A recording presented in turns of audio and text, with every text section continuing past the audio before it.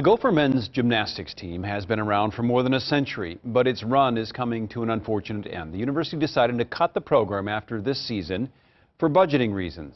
But as Hobie Artigue explains, this is a team trying to stick the landing in its final season that begins on Saturday.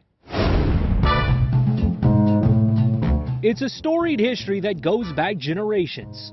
But this weekend is the start of the final chapter for Gopher men's gymnastics you know, 117 year old program about to be, you know, see its final year. The program entering its last season due to budget cuts at the U of M amid the pandemic. It's not been easy. You know, it's uh, it's kind of like you you pull something out of your heart a little bit, right? And uh, something's missing. When the decision first happened, it was it was I my mind immediately went out to my teammates and just thinking, oh man, these guys were told that they'd have four years here. Henry Meeker is a senior leader and a legacy. His dad also competed in gym for the Gophers.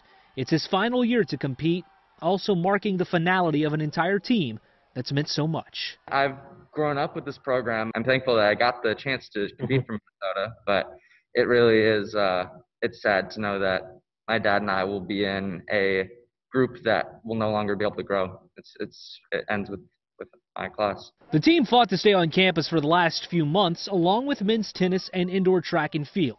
But now their fight turns to competition, a welcome return to some form of normal. Everybody could have said, oh, poor us, we can't do gymnastics. No, we're going to find a way.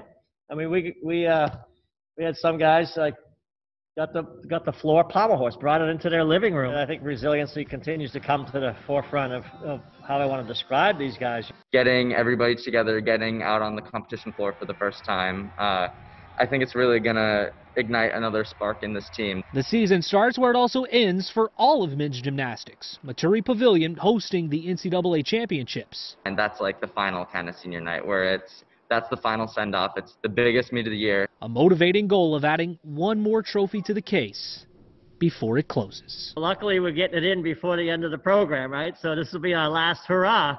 And these guys are ready to go out there and just take the world by storm. The Gophers host Iowa here at the PAV Saturday, and at this point in time, it will be the final season opener for both. Hawkeyes men's gymnastics is also being cut amid the pandemic, one of four sports eliminated by that university. At the University of Minnesota, Hobie Artigue, Fox 9.